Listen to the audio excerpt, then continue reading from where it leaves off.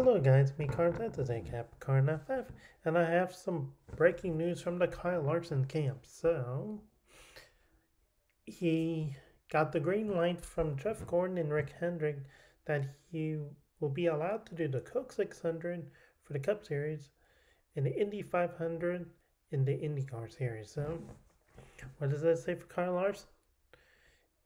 Uh, well, Jeff Gordon and Rick Hendrick have agreed that he will fight a team that's to allow him to win in his first try, but you know how IndyCar goes when you are a rookie. It's very hard to do it.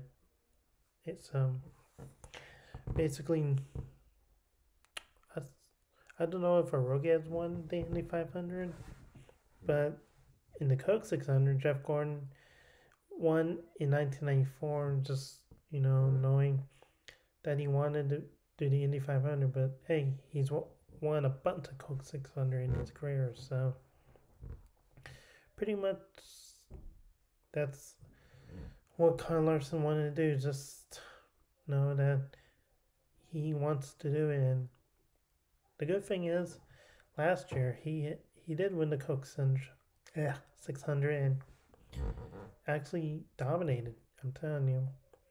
I mean, the sad news from last Sunday, he didn't move on in the round of 12, which I find he's going to get another championship, but yeah, it wasn't meant to be. So we'll just see if his teammate Chase Elliott will get his second championship, along with seven others that are still in this dogfight. So that's pretty much it on the Kyle Larson news. And I have another news from jacekeaton.com. And it was posted at 9 in the morning, just before you all go to work and stuff. So here it is.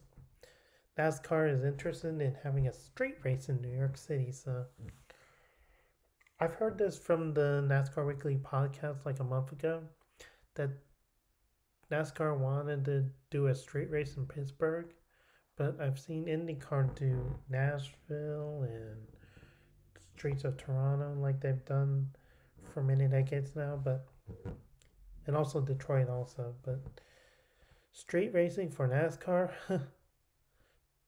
I think I agree with it, but they're going to have to generate a lot of revenue to make it happen, to do it in New York City because, you know, New York City is a really expensive place to have a street race especially for the NASCAR audience. But go read this article yourselves because I'm not going to read it all. And I think the way they tried it in the LA Memorial Coliseum, you mean last January, it was a big bang, you know? and Joey Logano and Kyle Busch had to settle for it. And Logano beat him to the line. So yeah. This racing in New York City, Pittsburgh, Chicago, and Los Angeles.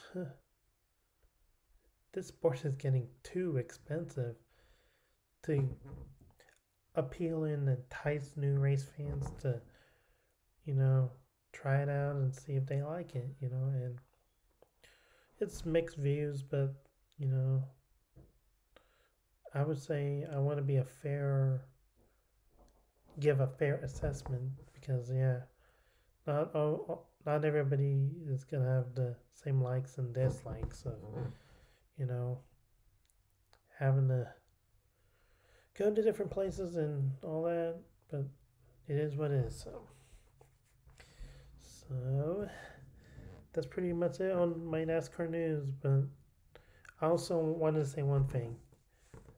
This happened yesterday with Tyler Reddick he's being bought up by 23XI, his new vendor already.